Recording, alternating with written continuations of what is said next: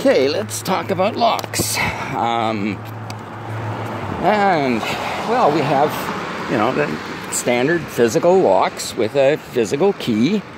Um, and then there are many, many other kinds of locks. And of course, uh, even the standard lock with a physical key, you know, there's a lot of difference in uh, quality, quality, in um, protectiveness, in how uh, effective they are. How, well, like we talked about in uh, cryptology, what's the work factor involved in opening them up if you don't have the key?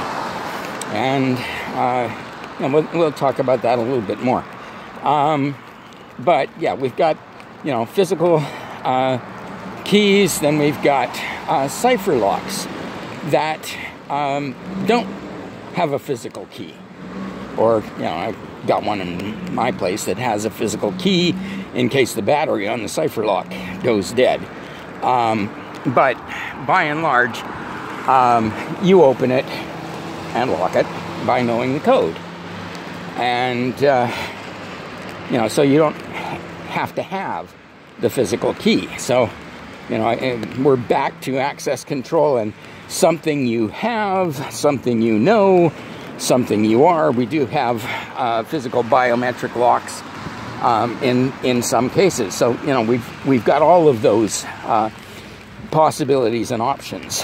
Um, we have uh, smart locks. Um, uh, interestingly, uh, I mean, you know, generally speaking, a smart lock you would think of as as uh, again, it's something you have, but what you have is not as much a physical key as um, a, a card, uh, generally speaking, a proximity card.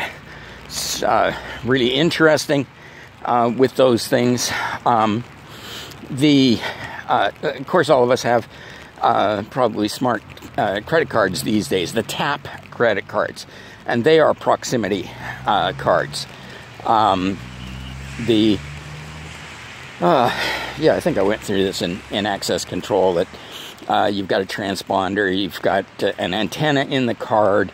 Um, it picks up um, the signal that is radiated from the uh, reader device, which both um, uh, sends a message, send, you know, communicates to the card and powers the card. And the card performs an operation um, proving that it is the proper card and uh, uh, sends the information back to the uh, uh transponder. Um, the uh, but you know you, you can get um, with with these types of lock systems uh, a lot more factors involved in it. You can have um, the you know time controls. Um, certain people are allowed uh, access to the building, but only during working hours. Um, you know, and other people may have uh, broader access than that.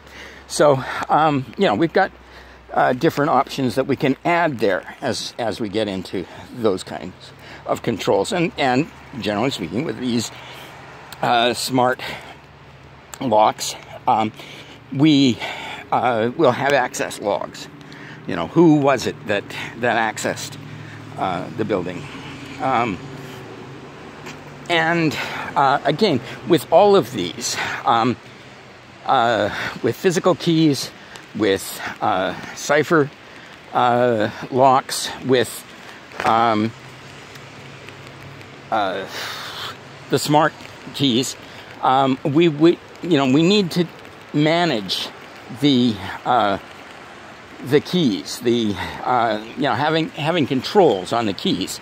Um, even with the cipher key, uh, we um, one situation I, I, remember we found out that uh, um, people were accessing the building, um, and uh, yeah, it wasn't. It was more annoying than anything else, but um, we found that they um, actually knew the uh, the access code, and, and we didn't uh, weren't able to tell who had given away the access code because everybody had the same access code, And, and so you need to have key controls in, in that case as to, you know, who knows which code and which code is being abused. So uh, we've got uh, controls and management that we have to put in place there. Um, again, with regard to physical locks, physical keys, you have to pay attention to lock picking. As I say, I'm not uh, really good at it. It's not something that I have um, a terrific interest in. Um, but there's, you know, some people who uh, practice it and get very skilled at it. Um, there is also lock bumping, which is very unskilled. Uh, it is amazing how simple uh, lock bumping is. And in fact, you can get uh, devices where you just um, insert, uh, you know, some of the thinner parts into a key, press the button, hold it down for a while, and the thing vibrates and uh, bumps and, and what have you. Um, and eventually the lock opens. Uh, you know, it's that's that takes no skill at all. Um, anyway, um, when you're dealing with uh, physical locks, though, well, and, and other types of locks as well, uh, look at the bolts, look at the strike plates, uh, look at the deadbolts. You know, what um, level of security do you need here? Um, what, uh, you know, is it only security to prevent people from breaking in? Is it also security to keep people from uh, getting out? And and again, as I talked about in construction, look at the hinges and latches. Um, there's a few other uh, factors that we should be considering in um, uh, uh, keys. Um, one of them being master keying. Now, this is very often done in uh, companies and and even uh, uh, residential keys that a a locksmith will master key um, either an office or a um, an uh, entire apartment building or something like that, so that they uh, are able to easily uh, get into the apartment if uh, somebody has lost their keys. But um, that does introduce a, a, weakness, and any form of ma master keying, of course, uh, reduces the uh, difficulty of somebody um, getting into the, you know, breaking the lock uh, picking the lock, whatever. Uh, there's a key override. Um, you know, do we need access in an emergency uh, somehow?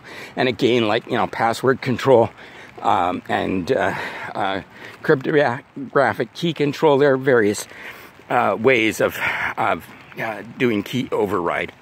Um, there's, you know, some additional interesting factors like uh, door uh, delay.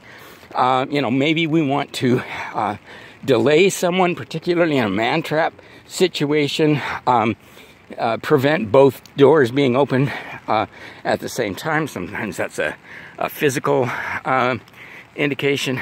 Um, the remote indication of do- an open door and, and, you know, various ties to alarm systems. Um, so, you know, all kinds of uh, factors, again, just on the simple aspect of locks.